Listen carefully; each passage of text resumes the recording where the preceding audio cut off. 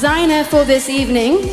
She is um, born Russian, but Kenyan at heart. She is totally into fusion and ruffles, making beautiful gowns from all types of fabrics, complementing the specific desires of a woman. Daring and a little on the crazy side, her gowns are fusion at its best. Introducing, ladies and gentlemen, Russian Kenyan Galina. Generation designer.